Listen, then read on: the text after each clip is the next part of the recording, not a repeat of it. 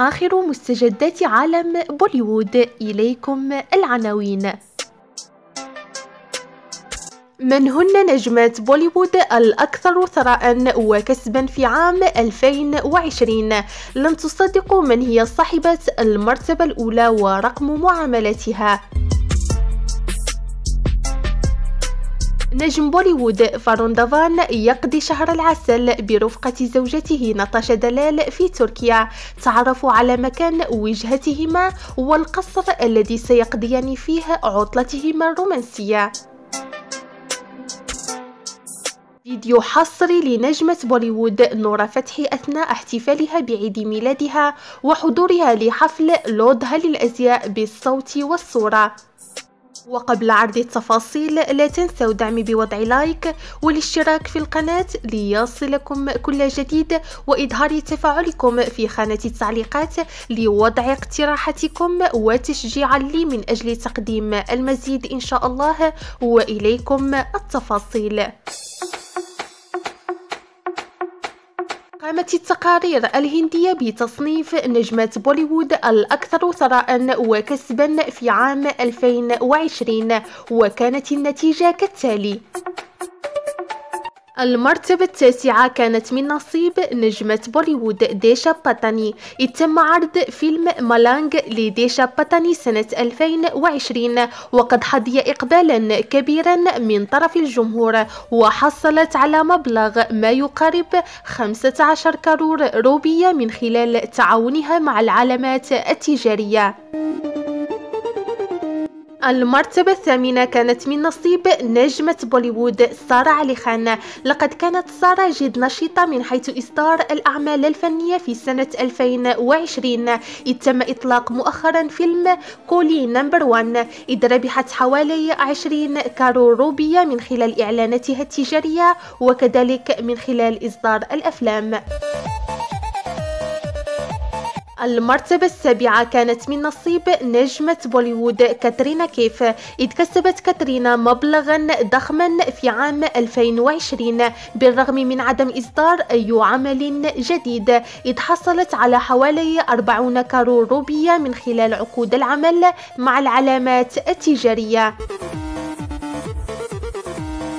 المرتبة السادسة كانت من نصيب نجمة بوليوود مالايكا أرورا التي كانت عضو في لجنة تحكيم برنامج للرقص إذ حصلت على مبلغ ضخم متمثل في 30 كارور روبية من خلال هذا البرنامج وكذلك تعاونها مع علامات تجارية. المرتبة الخامسة كانت من نصيب نجمة بوليوود عليا بهات.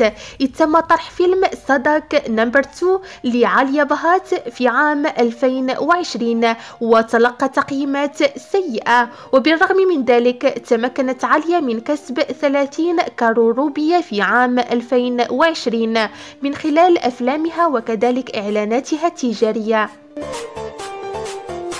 المرتبة الرابعة كانت من نصيب نجمة بوليوود شرادة كابور إذ كان لشرادة في عام 2020 إصدار فيلمين اللذين حققا أداء جيدا في شباك التذاكر وهما باغي 3 و Street Dancer إذ حصلت على حوالي 60 كارور روبية من خلال أرباح الفيلمين والعلامات التجارية.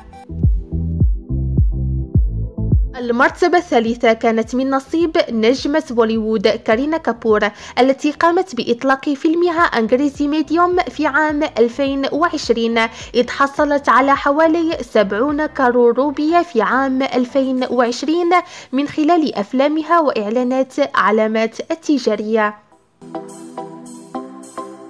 أما المرتبة الثانية كانت من نصيب نجمة بوليوود كانغانا رانوت التي أصدرت فيلمها الرياضي بانجا وحظي بإقبال كبير في شباك التذاكر إذ حصلت على حوالي 100 كارور روبية من أفلامها ومن شركة إنتاجها في عام 2020 وأخيرا المرتبة الأولى كانت من نصيب نجمة بوليوود ديبيكا بادوكون. لقد كان لديبيكا إصدار فيلما واحدا هذا العام والذي كان عنوانه تشاباك والذي نال استحسان الجمهور. فقد حصلت ديبيكا على أكثر من 100 كارور روبية في عام 2020 من خلال الفيلم وكذلك العلامات التجارية ودار الإنتاج الخاصة بها.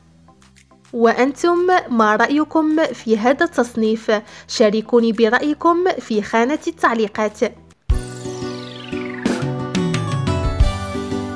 لقد عاد الزوجين فارون دافان ونطش دلال إلى مومباي بعد الانتهاء من مراسم الزفاف فوفقا للتقارير فإن نجم بوليوود فارون دافان فاجأ زوجته ناتاشا دلال بخبر قضاء شهر العسل في تركيا في فندق كيمبينسكي. فهو فندق يقع في إسطنبول على شكل قصر جميل يطل على مياه مضيق البوسفور ويعد هذا الفندق من أفخم فنادق تركيا.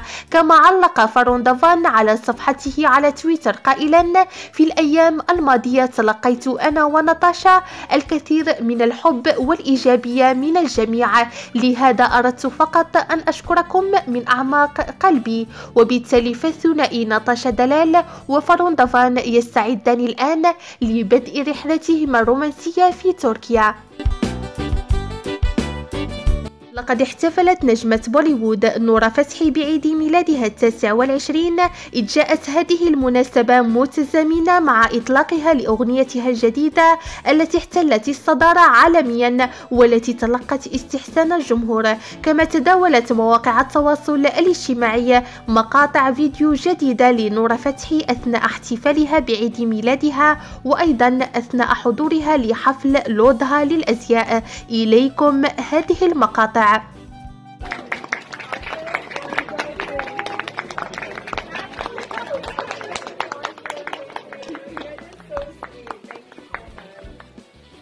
Happy birthday. Thank you. Let's cut. Yeah,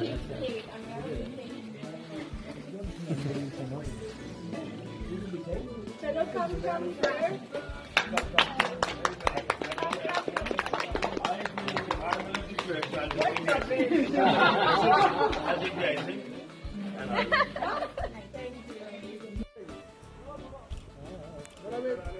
बस बस बस थोड़ा centre centre centre your centre थोड़ा सेंटर नूरा नूरा योर सेंटर नूरा सेंटर थोड़ा सेंटर नूरा योर सेंटर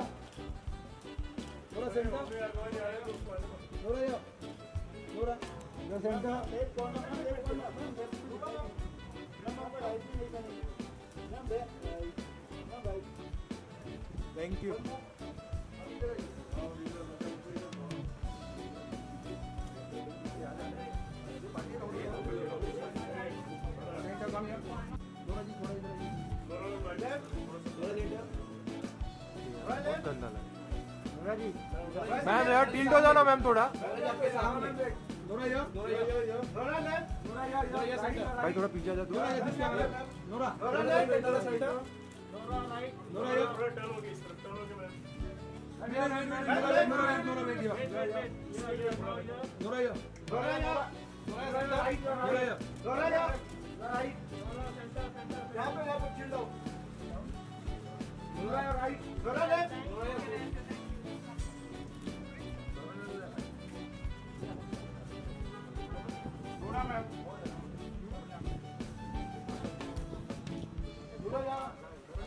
you.